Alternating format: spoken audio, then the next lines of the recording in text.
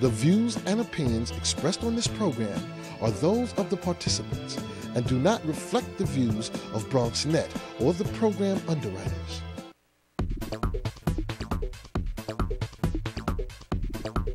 BronxNet. Your voice, your views, your vision.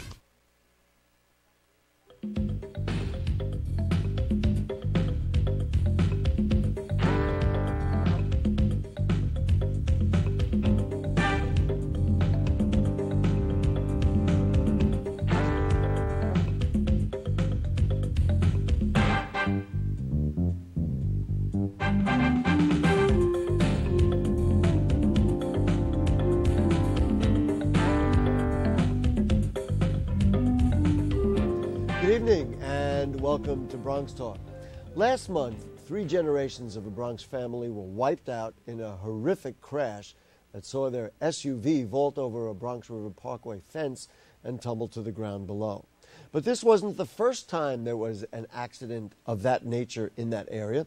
One of tonight's guests says that he had the state DOT or had the state DOT listen to him in a letter he wrote that terrible accident could have been prevented. So, where do we go from here as far as the Bronx River Parkway and other potentially dangerous Bronx roadways? Bronx roadways. And how, in fact, did we get to this point in the first place? Have the roads been repaired? Are they neglected? Or was this simply an unfortunate matter of circumstance? Difficult questions, and we have a couple of experts in the studio to provide us with some guidance. The phones are open, so you can feel free to join us at 718 960 7241. You can also email questions or comments to us at bronxtalk at hotmail.com, and we'll read those on the air during a future edition of our program. Both of tonight's guests have been here before from the Cross Bronx Initiative. It's William Rivera. Thank you, William, for joining us once again. Thank you. And the AAA's Manager of Public Information. Welcome back, Robert Sinclair Jr. Always great to have you. Good to be here. Thank, you. William, let's start with you. Um, what was your concern after that first accident in June, and what did you tell the uh, state DOT about what needed to be done at the Bronx River Parkway? well, the, the accident in June came about after the tragic accident on the Cross Bronx, I believe October of last year, when a couple was hit on an ice storm and they uh, fell over 70 feet. Uh, unfortunately, the female passed away and the male was a boxer who survived. And after that accident, I decided to travel on the Cross Bronx and my community board and just take a site visit of anything that was unusual. And uh, the, cross, the Bronx River Avenue and the Cross Bronx Expressway, which is right near where this recent tragic accident happened, passed through there and I saw that the uh, barriers were low, 14 to 18 inches high on average, and curved outward. Uh, and I said, interesting, this is the same spot in June of last year where a passenger car flew off and went into the precinct parking lot. And, and that we should add, remarkably, um, the people uh, survived that. Survived crash. that crash, uh, landed on another vehicle, an SUV. And I said, well, uh, the problem is, is probably because that guardrail is pretty low. And there's adjacent to that was a walkway, a pedestrian walkway that people could just go back and forth.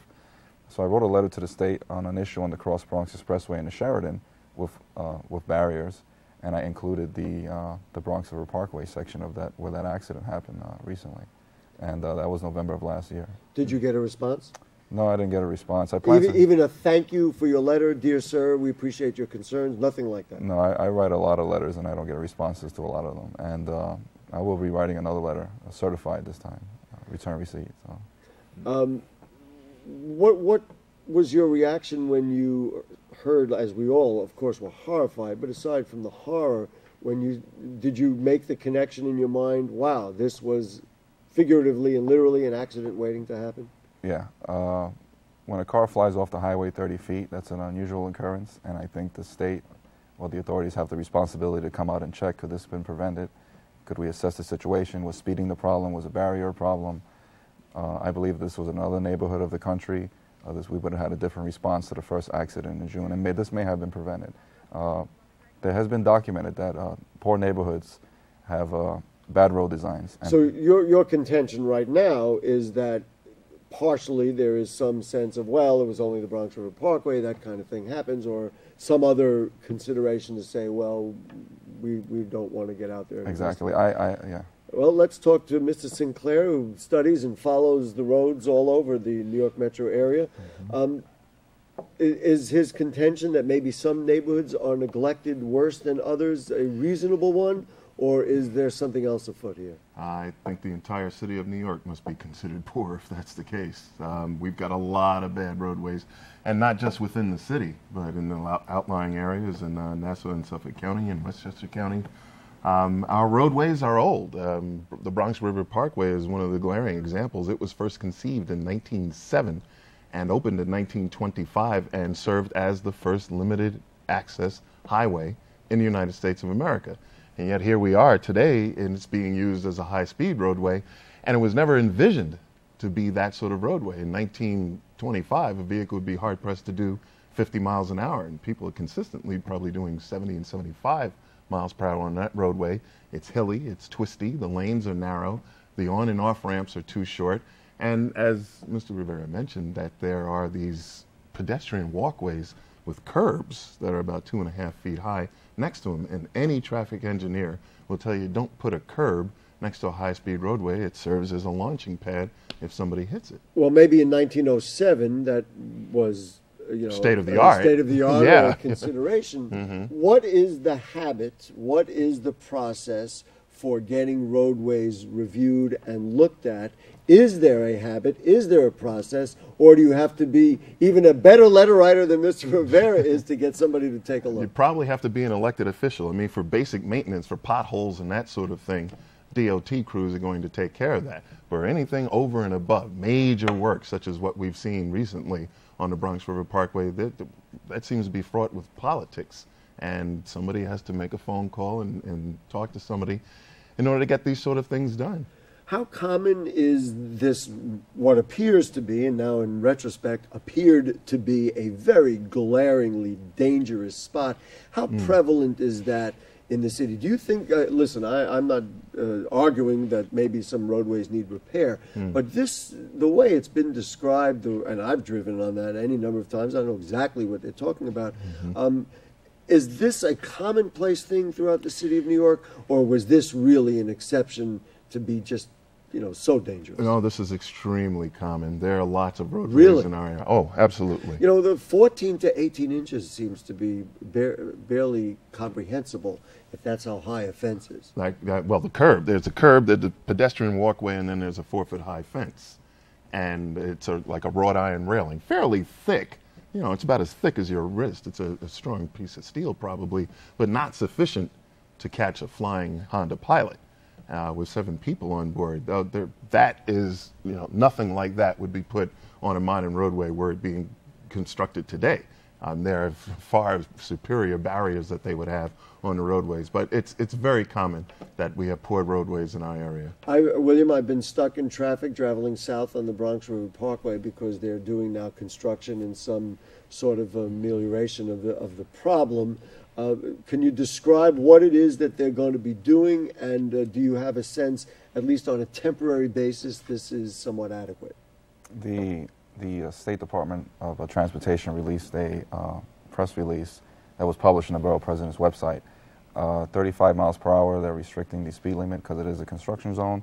They put solid white yellow lines so the traffic can stay in their lane, and they put temporary So new barriers. So there can't be any movement back and forth. Correct, and they put temporary new barriers, which I believe are two feet eight inches higher than the previous ones. And, and since it is marked a construction zone, I'm assuming they're going to replace the old antiquated barriers that were there before.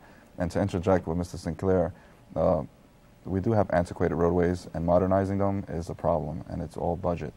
All has to do about the money Sure. and where the money goes. And the Bronx River Parkway is under the authority of the New York State Department of Transportation.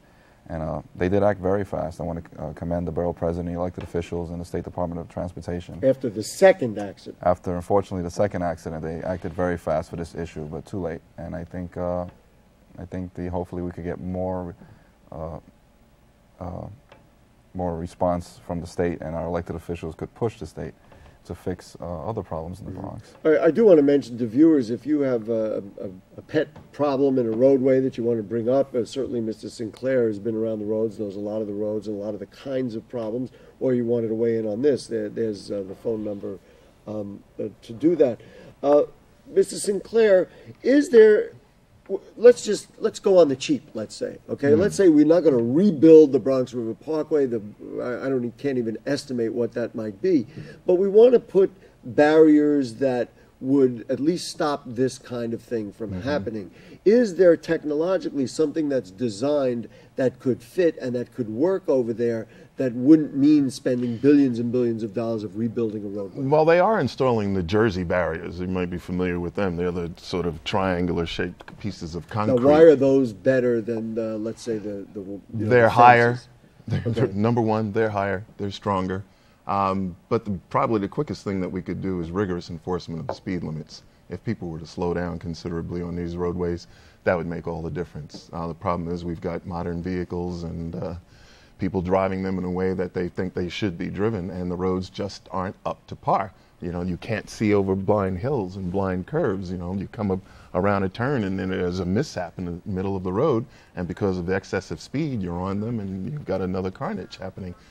It's the same way on many of our roadways, and short of you know tearing them down and rebuilding them completely, these Jersey barriers and other things are only temporary, lowering the speed limits. You know, what, you talked about the speed limit, and I must say, and, and while my heart certainly, like everybody else, our hearts bled for the families and the people involved, at least as I understood the reports, um, the young lady driving it was going 70 or 75 miles an hour.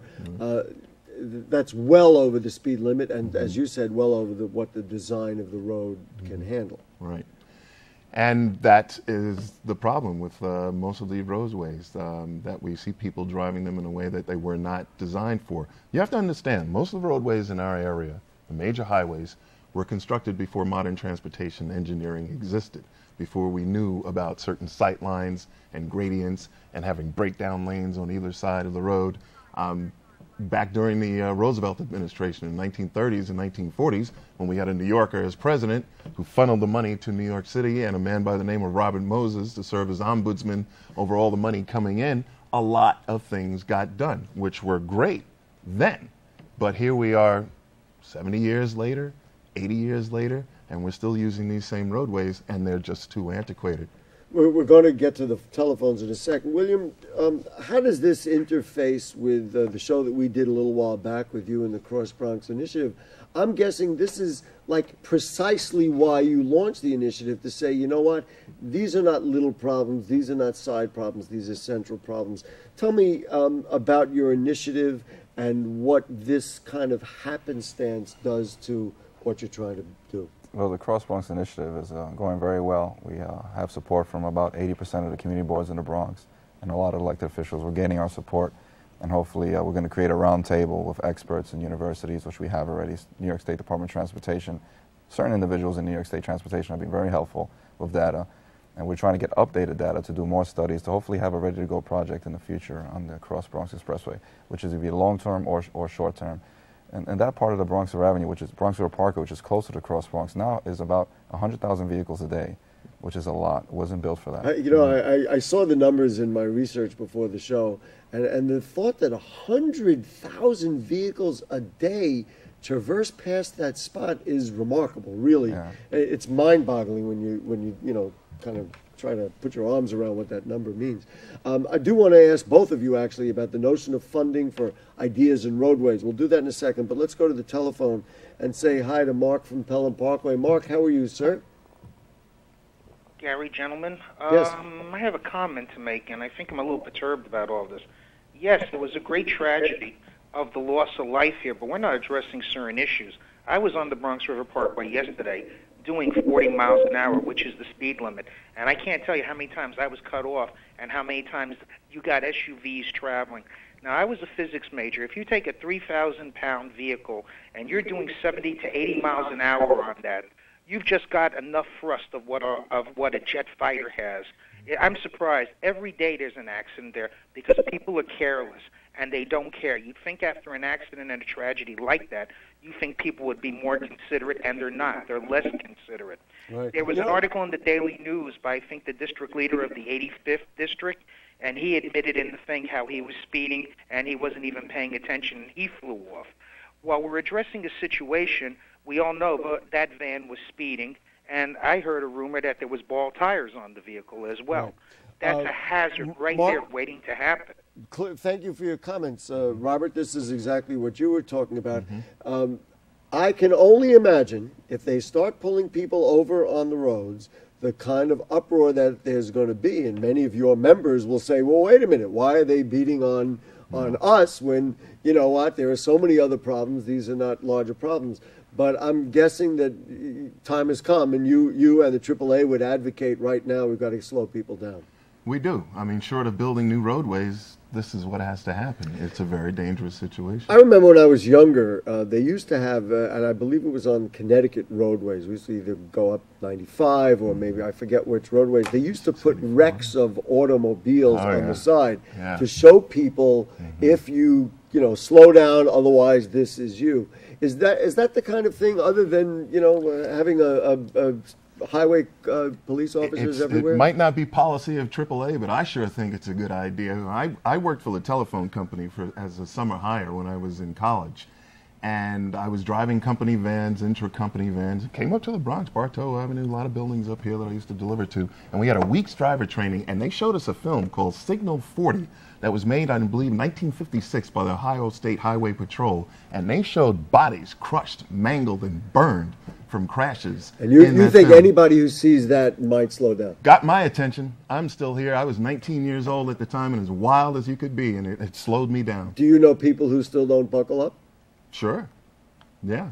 I mean, I'm I- related I, to say some of that somewhat rhetorically Yeah. because, of course, that's the same And New thing. York has a great rate. It's like 90% compliance in New York State, but only 90%, you know, it's been proven over and over again. The safety aspects of, of seatbelts, and yet people still aren't wearing them. It's Uh. William, let's let's go back to and and then Robert, we're going to get back to you because you're Mm-hmm. so close to the notion of how these things are financed. Um, you say you're going to put a roundtable together, and by the way, I don't know if Mr. Sinclair is on the, around that table, but you probably want to bring him aboard, so that gets Please. my vote. But um, uh, in in terms of you say, okay, we're going to have a round. What do you expect to get out of that roundtable? And ultimately, everything is going to cost money. I mean, aside from maybe some extra road signs to get people to slow down, um, how do you see that process developing so you can actually get something figuratively, literally, concretely done at the Cross Bronx Expressway Uh, it's or been- elsewhere? It's been going very well. It's a grassroots initiative, uh, and we do need help from elected officials in the community, but it's going very well. We have a, there's not a lot of money, so we, we bank on universities. Uh, the NYU Polytech, uh, Columbia University have a lot of PhD students, uh, master students. They come in and they, they do interns, internships, and they, we had site visits already, and they do projects. And uh, uh, NYU Polytech recently did a traffic management project on the Cross Bronx. Um, we work with the New York State Department of Health because obviously on the Cross Bronx there's an issue with pollution. So a lot of uh, ag- agencies that come together, and it's it's it's going to be long term, couple of years, and it's it's moving slow, but it's moving very well. And I'm ho- I'm very optimistic we have something concrete the next year or so. There's Right. something called NYMTC, uh, the New York Metropolitan Transportation Council, that's already done a series of studies on the transportation problems in New York City, how we have an inordinate amount of trucks, uh, uh, the problems with the roadways, you know, the, prob- the, tr- the uh, congestion situation. You know, there, there are studies out there, but the problem is we need to start making something happen, making something happen. And they say there's no money, but they gave a trillion dollars to these lying bankers that got us into the financial crisis. we can find the money when we want to. Um, can things be done? uh, And, and you and I, uh, Robert, had an email exchange in setting up this program, and, and I was we were talking about you know what can be done. You know, can we make adjustments? You said you know we really need to overhaul roadways. That is a a large financial commitment. Are there things that can be done?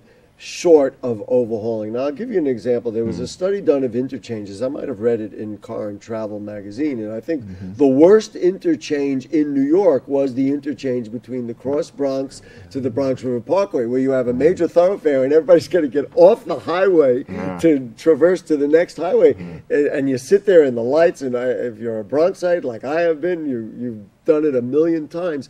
Can those kinds of things in small areas be done short of saying, well, let's redo the or put a roof over the Cross Bronx? Yeah, I guess you could rebuild those interchanges. Uh, they're rebuilding uh, the, another bad interchange now at the, the Major Deegan in the Cross Bronx. All the work that's going on there. We've got trucks funneling from two lanes to one lane and having to get, if they're heading toward New Jersey, over from the far right lane to the far left lane because they have to go to the upper level of the George Washington Bridge.